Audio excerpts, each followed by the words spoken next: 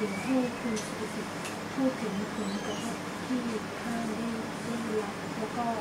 เอ่อผลเสียที่เกิดขึ้นเมื่อรับผิดชอบให้มันค่ะเป็นประเด็นเดียวไมถึงนี่นะครับนะพูดเสียงดังนิดหนึ่งแต่มันดุนะ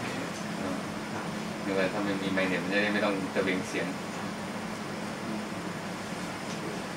เอาเลยครับ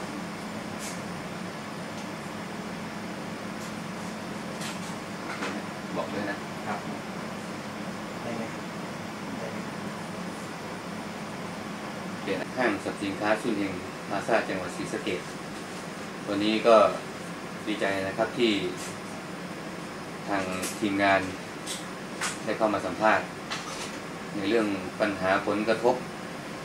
เกี่ยวกับห้างต่างชาติ โดยเฉพาะห้างแมคโครที่เอ่อเปิดดำเนินการไปแล้ว เมื่อวันที่ 17 ที่ผ่านมา 17 ตุลานะครับ 2550 ที่ผ่านมา ปัญหาที่มันเกิดขึ้น แล้วก็มีผลกระทบอยู่ณปัจจุบันนี้ ผลกระทบของห้างเองเนี่ย ถ้ามองแล้วเนี่ย ผลกระทบ ถ้าดูเปรียบเทียบแล้วเนี่ย มันเป็นกลุ่มของเป้าหมายของเซกเมนต์ที่มีความแตกต่างกันสักสิบเปอร์เซ็นที่ได้รับผลกระทบของห้างทุนเฮงแต่ถือว่าผลกระทบนี้มันก็เป็นผลกระทบหนึ่งที่เกิดจากทางส่วนราชการ นะครับ ทางส่วนราชการทางท้องถิ่น ไม่ไม่ว่าจะเป็นส่วนท้องถิ่นเอง ทางผู้ว่าราชการเองนะครับ ทางโยธาธิการและผังเมืองจังหวัดศรีสะเกษเอง ให้ความร่วมมือกับคนนอกพื้นที่ ร่วมมือกับคนในพื้นที่ เพราะฉะนั้นเองเนี่ยปัญหาที่มันเกิดขึ้นเนี่ย ทุกวันนี้นี่คือมองเห็นได้ชัดว่าประชาชนธรรมดาลากย่า หรือคนทำมาหากินที่ประกอบการอย่างสุจริตนะครับไม่ได้รับความเป็นธรรมนั้นพ่อค้าเองก็ต้องช่วยเหลือตัวเอง ก็เหมือนคำเขาบอกว่า อัตตาหิอัตโนนาโถนะครับ ตนเป็นที่พึ่งแห่งตน พ่อค้าก็ต้องพึ่งตนเอง ไปขอความช่วยเหลือก็ไม่ได้รับความช่วยเหลือแถมยังไม่ได้รับความยุติธรรม ไม่ได้รับความเป็นธรรม แม้กระทั่งศาลปกครองเอง ที่ผ่านมา แต่อย่างไรก็แล้วแต่ณปัจจุบันนี้ทางผู้ประกอบการร้านค้า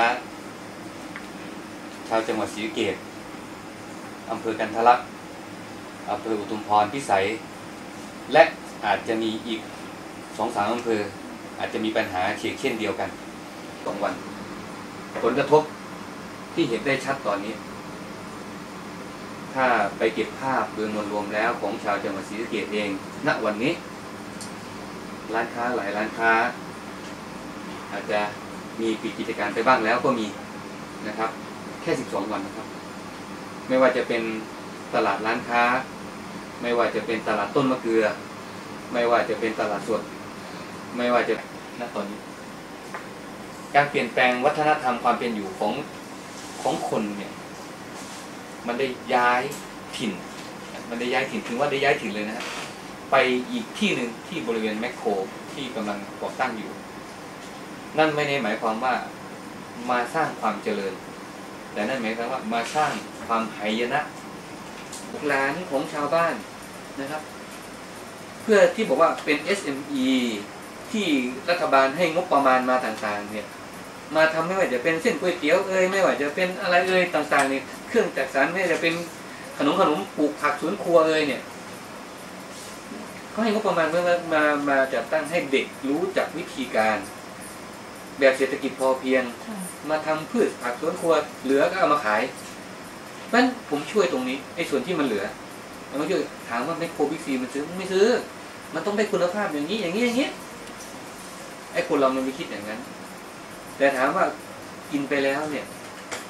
เราก็ดูโอ้ มันไม่ได้สารพิษเนี่ยแล้วก็ขายได้เหมือนตลาดอะก็เหมือนเด็กแทนที่จะเอาไปขายตลาดสด ผมว่าเอ้ยไม่เป็นไร ผมรับซื้อก็ได้ ผมก็รับซื้อทุกวันนี้ผมก็รับซื้ออยู่อืมเห็นไหมฮะมันไม่เหมือนกัน ต่างชาติมันไม่มีหรอกมันมีเดบอกไปไกลๆเลยไปไกลๆเลย ตลาดสดต่อไปก็ไม่ใช่ตลาดสดทุกเช้าไปเดินดูได้ตลาดสดศรีสะเกษเจ๊งเอาเลยยิงยิงยิงยิง เดี๋ยวนี้ตลาดสดตอนเช้าเหงา ตลาดตลาดตีหนึ่งตีสองไม่มีครับที่ขายส่งค้าปลีกที่มาเป็นรถหกล้ออืมแล้วก็จะมีแม่ค้ามาซื้อ ก็บอกต่อไปไม่ไปซื้อแล้วต่อไปซื้อแมคโครก็ได้ เพราะอะไรแมคโครก็ขายเป็นเป็นกิโลเหมือนกันแทนที่เขาจะต้องตื่นตีสองตีสามไปซื้อที่ตลาดไอ้รถที่มันมาหกล้อค่ะไม่ต้องไปซื้อแล้วหกโมงเช้าเดี๋ยวฉันตื่นฉันขับรถไปซื้อที่แมคโครก็ได้มันก็มีเหมือนกัน แล้วขายถูกกว่าด้วยบอกตลาดสดไม่กระทบได้ยังไงกระทบนี่คือความความล่มสลายของธุรกิจที่มันเป็นลูกโซ่เห็นไหมครับพ่อค้าปลาก็บอก ฉันขายปลาบอกไม่กระทบ แต่ไปดูปัจจุบันนี้แมคโครมันก็ขายปลาเหมือนกันปลาอะไรปลาช่อนปลาดุกมันก็ขายปลาอะไรปลาปลาอะไรมันก็ขายหมดอะค่ะแล้วคุณบอกว่าคุณไม่กระทบอะอืมมันหมดเลยทั้งหมด มันเป็นลูกโซ่มันแล้วแล้วปัจจุบันนี้เนี่ยแม้กระทั่งเสื้อผ้ามันก็เริ่มเอามาขายแล้วคุณบอกเป็นตลาดนัดเสื้อผ้า คุณบอกเป็นตลาดนัดเสื้อผ้า ไอ้ชิ้นเก้าสิบเก้าบาทอืมร้อยเก้าสิบเก้าบาท คุณมีบอกหมดที่เฮ้ยผมไม่กระทบหรอก มันมันไม่มีหรอกไม่โครเดี๋ยวนี้มันเอามาขายแล้วอืมบอก เพราะฉะนั้นไอ้ตรงนี้ มันได้รับผลกระทบหมดได้รับผลกระทบทุกสิ่งทุกอย่างหมดก็ฝาก ให้เห็นคร่าวๆเท่านี้แต่จริง ๆ มันมากกว่านี้อะมันการการมากกว่านี้เนี่ย ปัญหายิ่งพูดมันยิ่งเยอะ ส่วนดี ดีกับเสีย เสียมันมากกว่าดังนั้นผลเสียที่มันเกิดขึ้น มันมากกว่าผลดี ถ้าเปรียบเทียบบอกว่าเจ็ดสิบสามสิบเสียมันเจ็ดสิบดีมันแค่สามสิบเพราะฉะนั้นแล้วเนี่ย ควรจะหยุดและยับยั้ง คุมกำเนิดในห้างต่างชาตินี้ซะไอตัวที่เกิดแล้ว ถ้ารัฐบาลเห็นว่ามันมีผลกระทบก็ยุบมันซะกฎหมายบ้านเมืองของประเทศไทย ต้องใช้กฎหมายบ้านเมืองของประเทศไทยยุบมันไม่ใช่ไปส่งเสริมมันค่ะนะครับโอเคครับขอบคุณมากนะคะโอ้ฟังวันนี้ผมก็ได้ความรู้เยอะเลยของเรายิ่งอยู่ความความเจริญ ก็คือความเจริญค่ะความชีวิไลก็คือความชีวิไลแต่เราต้องให้เขารู้ว่า นี่คือความชีวิไลนี่คืออืมคือพื้นฐานบรรทัดฐานพื้นฐานของคนความเป็นอยู่ของคน ไม่ใช่เอามารวมกันคุณต้องแยกออกจากกัน นี่คือความชีวิไลนี่ความสะดวกสบายเป็นอย่างนี้ แต่นี่คือพื้นฐานยังต้องรักษาไว้ คุณต้องรักษาไว้ ไม่ใช่คุณไปทำลายมัน มันไม่ถูก มันไม่ถูกต้องเลยแล้วก็ไม่เห็นด้วย ตรงนี้นะ ฟังแล้วผมขนลุกเลยครับ โอ้โหรู้สึกว่าอันนี้หนึ่งชั่วโมงแม่ถึงไหมฮะถึงหนึ่งชั่วโมงไหมไม่น่าถึงประมาณสามสิบกว่านาทีสามสิบกว่านาทีอ่ามันใช่เลยแล้วคือที่ต่อสู้มันเราต่อสู้ตรงนี้เนี่ยแต่ยังไงเราก็ยังต่อสู้อยู่ต่อสู้แม้จะ แต่เรายังไม่ถือว่าแพ้ยังยังตอนนี้ขั้นตอนยังอยู่ที่ศาลอุทธรณ์ค่ะศาลอุทธรณ์สูงสุดของศรีสะเกษที่ที่ยื่นไปแล้วเนี่ย วันที่หนึ่งตุลาที่เรายื่นไป แล้วก็มีหนังสือตอบรับ ของศาลศาลอุทธรณ์สูงสุดที่กรุงเทพนะฮะก็ส่งมาแล้ววันที่สิบก็ได้รับเอกสารมาแล้ว เพราะฉะนั้นก็ยังต่อสู้ต่อไปจนกว่าจะถึงที่สุด เพราะฉะนั้นความเห็นของศาลเป็นยังไงก็ต้องยอมรับไปตามนั้นนะฮะแต่ว่าตอนนี้เรายังไม่ได้สู้เลยศาลบอกว่าเราไม่ใช่ผู้เสียหายแล้วอ้าวอ่าเพราะฉะนั้นต้องดูที่ศาลสูงสุดว่าค่ะจะ เราจะมีโอกาสได้สู้ไหมแต่ถ้าเรามีโอกาสได้สู้เราคิดว่าเราชนะ อันนี้กันทะลักก็รอดูเหมือนกันค่ะอืมเพราะว่าอีกอาทิตย์หนึ่งนี่ค่ะเขาจะเปิดก็โทรคุยกับดามน้อยอยู่วันที่เก้าบอกวันที่เก้าจะเปิดอืมเอาที่กล้าแล้วบอกตายตายตายตายนี่นี่บิ๊กซีถ้าโรตัสเปิดเนี่ยมันกระทบมากกว่านี้ อันนั้นกระทบกระทบคนพ่อค้าปลีกค้าส่งโดยตรง แต่อันนี่มันค้าส่งโดยตรงเลยค่าส่งอืมมันค่าต่างค่ากันส่งเราต่างกันใช่ไหมครับต่างอันนี้ค่าส่ง อันนี้คือค้าส่ง อันนี้ส่งส่งหลังคือคนคนที่ขายส่ง อยู่ในตัวเมืองเนี่ยครับ เรียบร้อยหมดอืมเงียบเลยขายปลีกนี่ก็ยังกระทบนะขายปลีกยังกระทบแต่ว่าถ้าเป็นโลตัสหรือบิ๊กซีเนี่ย มันทั้งหมดเลยปีทั้งสองทั้งทั้งปีทั้งส่งเลยถ้าโลตัสบิ๊กซีเนี่ยทั้งปีทั้งส่งอืมโดนหมดเลย ร้านค้าภายนอกภายนอกนี่เรียบร้อยหมด เรียบร้อยหมดโดนหมด เพราะฉะนั้นมันพฤติกรรมของคนมันก็จะเปลี่ยนไปเลยเปลี่ยนว่าต่อไปนี้เนี่ย ร้านข้างนอกเนี่ย ไม่ว่าจะเป็นร้านขายเครื่องไฟฟ้าอะไรไม่ไปละจะไปซื้อของไปบิ๊กซีโลตัสไปแม็คโครนี่พฤติกรรมของคือมันสอนให้เด็กรุ่นใหม่ ๆ ที่เกิดขึ้นมาใหม่เนี่ยสร้างความสะดวกสบาย คือคือความหลงลืมเพราะฉะนั้นคนที่เป็นผู้ใหญ่อะคนที่เป็นพ่อเป็นแม่เนี่ยต้องบอกเฮ้ยมันไม่ใช่นะ ต้องสอนต้องสอนให้ลูกเข้าใจว่า นี่คือความศิวิไลซ์นี่คือความทันสมัยของมันดูไว้ได้ ดูไว้ได้ แต่เอามาบางส่วน แต่แต่ตรงนี้ต้องบอกลูกหลานมันเป็นการทำลายธุรกิจ มันเป็นการทำลายระบบการค้าดั้งเดิม มันเป็นการทำลายนักธุรกิจ เป็นการฆ่าคนไทยให้ตาย ต้องบอกให้รู้เพราะฉะนั้นเป็นไปได้เนี่ย เราอย่าไปเดินนะบิ๊กซีแมคโครโลตัสลูกสาวผมผมบอกจะไปไม่ไป แล้วไม่ให้ไปผมบอกด้วยนะ เพราะอะไร ต้องบอก ต้องบอกเหตุผลให้เขาด้วยเพราะเด็กจะบอกว่าไม่ให้ไปอย่างเดียวไม่ได้ ต้องบอกว่าไม่ให้ไปเพราะหนึ่งมันเป็นชาวต่างชาติ มันเป็นของคนต่างชาติเขาบอกอ้าวก็ตั้งอยู่ในประเทศไทย ตั้งอยู่ในพื้นที่ไทยใช่ เพราะฉะนั้นไอ้คนเหล่านี้เนี่ย มันมาอยู่บนพื้นแผ่นดินไทยแล้วเนี่ย มันไม่ได้ให้ความเคารพของคนไทย ไม่ให้ความเคารพของกฎหมายประเทศไทย เพราะฉะนั้นมีคนไทยบางคนที่ขายชาติเพราะมันมีคนไทยบางคนถึงถึงมันถึงลงได้ แล้วมันมาลงเนี่ยมันไม่ได้ลงถูกต้องตามกฎหมายด้วย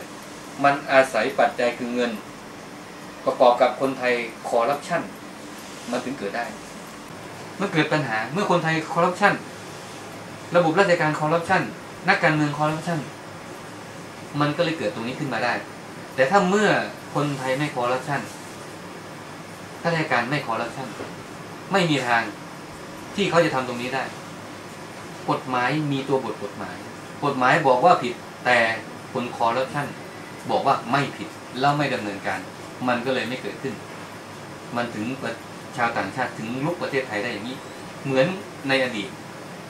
คนไทยเปิดประตูให้พม่าบุกเข้าตีเมือง เหมือนกัน เพราะฉะนั้นเปรียบเทียบเช่นเดียวกันว่า ไอ้คนเหล่านี้เนี่ยมันให้ชาวต่างชาติมาฆ่าคนไทยบุกเข้าเมืองเราได้ มันต้องประนามมัน ต้องด่าว่ามันต้องสาบแช่งมันหรือว่ามีน้อยมากเลยนะคะ คนที่จะสอนลูกว่าอืมสอนไม่ได้สอนคือคือน้อยน้อยคนที่ที่จะสอนนะอืมคือบางคนเข้าใจแค่ว่าความสะดวกสบายเท่านั้นแต่ต้องเอาเหตุผลตรงนี้บอกเขาด้วยนะว่า เนี่ยมันเป็นอย่างนี้เนี่ยมันเป็นอย่างนี้เพราะอะไรที่ไม่ให้ไป ซื้อ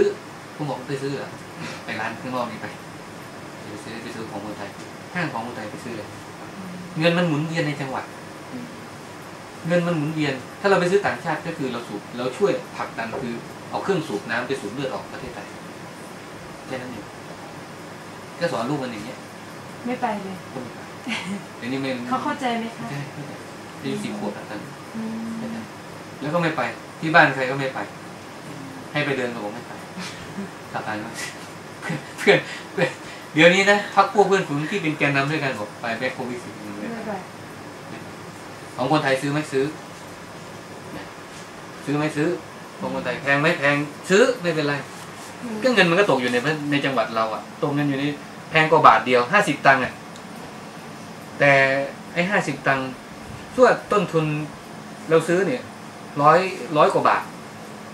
เราซื้อในของคนไทยต่างกันห้าสิบตังค์บาทหนึ่งเอาไปช่างมันดิแพงกว่าเราซื้อแต่เรารู้ว่า เหตุผลคือเขาซื้อปริมาณมันน้อย คือวอลลุ่มในการสั่งซื้อมันน้อยเขาเลยขายแพง ไม่งั้นเขาก็ขาดทุนไม่มีกำไรเขาก็อยู่ไม่ได้ แต่ไอ้ห้างต่างชาติเนี่ยมันอาศัยวอลลุ่มในการสั่งซื้อเป็นจำนวนมาก ๆ ในการดั้มราคาดั้มราคาไม่ไม่ใช่เต้าทุนเลยนะขาดทุนมันก็ยอมดั้มเพื่อที่จะฆ่าให้ตายก่อน แล้วมากำหนดราคาเพิ่มขึ้นทีหลังก็ก็นี่ก็คือเห็นได้ชัดเพราะฉะนั้นเราบอกไม่ซื้อหรอก เราซื้อของคนไทยแพงกว่าบาทต้องบาทช่างมันเนี่ยมันก็หมุนเวียนอยู่ในนี้ นี่คือนี่คือนี่คือแต่ก่อนเราเราได้ออกมาต่อสู้ ผมเคยต่อสู้มาตั้งแต่ปี46สี่หก46ตั้งแต่โลตัสจะมาลงตรงกุดหวายเนี่ยตอนนี้ลงหรือยังตแต่สี่หกก็ลงไม่ได้ ต่อสู้คราวที่แล้วลงไม่ได้อืมปีนี้เที่ยวนี้มาเจอมาเจอในสภาวะที่มันมันลุกลุกแล้วประกอบกับคนไทยคอร์รัปชันมากขึ้น มันก็เลยเป็นปัญหาอืมเป็นปัญหาอย่างนี้เกิดขึ้น แต่ไม่ใช่บอกว่าทุกคนคอร์รัปชันนะค่ะเออแต่ว่าบางคนบางกลุ่มเท่านั้น ที่เห็นประโยชน์แก่ตน เห็นประโยชน์ในส่วนที่ที่คิดว่าตัวเองได้ประโยชน์ คนอื่นเดือดร้อนช่างมันตรงนี้บุคคลเหล่านี้เนี่ยผมถึงบอกว่า ควรสาบแช่ง ควรขับไล่ ไม่ควรอยู่ประเทศไทย ไม่ไม่ไม่ใช่ว่า ไม่ไม่ใช่ว่าควรอยู่ในจังหวัดนะไม่ควรอยู่ประเทศไทยเลย ควรสาบแช่งให้มันล้มหายตายจากไปด้วยซ้ำไป พระคงจามแล้วมาพัฒนาอืมก็เป็นไปได้เอาผมพัดเชยพัดเชยนะค่ะครับนะโอเคครับแนี้ครับนะะขอบคุณขอบคุณมากครับเดี๋ยวรบกวนอะไรกันนี่ครับโอ้ครับก่อนโอเคครับ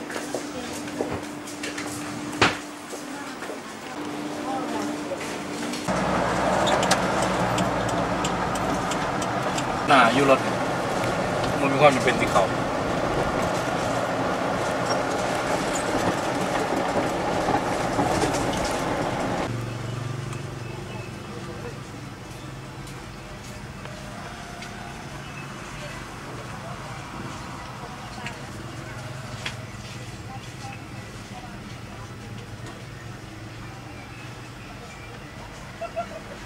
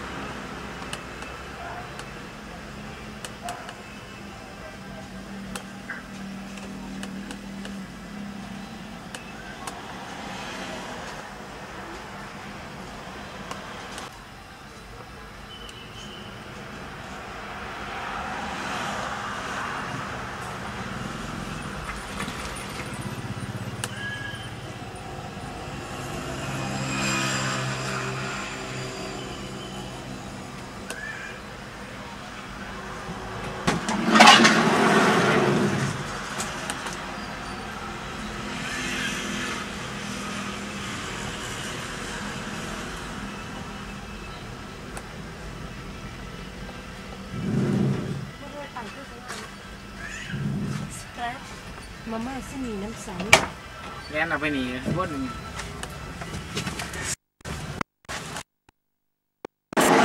ไปพ่นจอดเนี่ยนั่นสิเห็นพ่นเอา